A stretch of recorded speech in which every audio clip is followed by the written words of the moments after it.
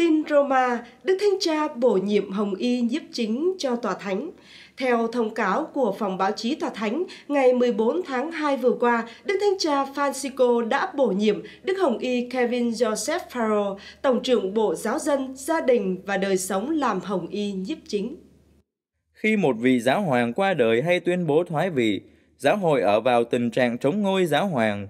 Tất cả các vị lãnh đạo các cơ quan trung ương tòa thánh đều bị ngưng chức, ngoại trừ vị Hồng Y nhiếp chính. Đức Hồng Y nhiếp chính sẽ chăm sóc, quản lý tài sản cũng như các quyền lợi của tòa thánh trong khi chống ngôi giáo hoàng. Ngài điều hành các công việc bình thường và đệ trình lên Hồng Y đoàn những gì quan trọng cần được phê chuẩn. Ngài ấn định ngày bắt đầu các phiên họp của Hồng Y đoàn để chuẩn bị bầu giáo hoàng mới. Hồng Y nhiếp chính cũng là người nhận lời tuyên thệ của các Hồng Y về việc giữ bí mật liên quan tới mật nghị bầu giáo hoàng. Vị tiền nhiệm của Đức Hồng Y nhiếp chính Kevin Joseph Ferro là Đức Hồng Y Jean-Louis Turan, người Pháp đã qua đời ngày mồng 5 tháng 7 năm 2018.